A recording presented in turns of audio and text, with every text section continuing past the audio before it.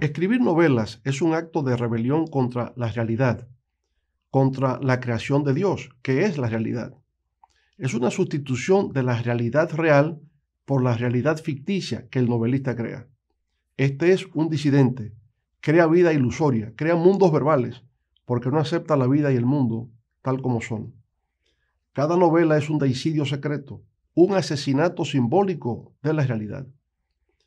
De esa manera se expresa Mario Vargas Llosa, Premio Nobel de Literatura, en su libro García Márquez, Historia de un deicidio, un texto que vuelve a reaparecer 50 años después de haber sido publicado por vez primera.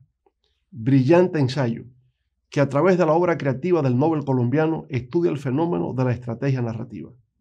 Para transformar el mundo hay que leer.